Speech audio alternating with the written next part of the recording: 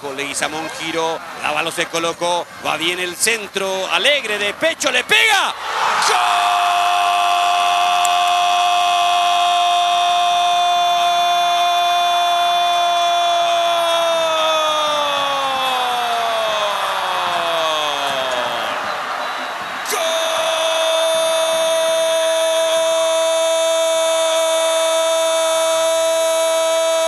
Sportivo Luqueño, Derlis Alegre, qué gran conclusión, qué gran definición, un golazo señores, la acomodó contra el pecho, giró y sacó el latigazo, disparo letal Alegre, Sportivo Luqueño amenaza el invicto de ser porteño en la olla, Luqueño está ganando el partido 1 a 0.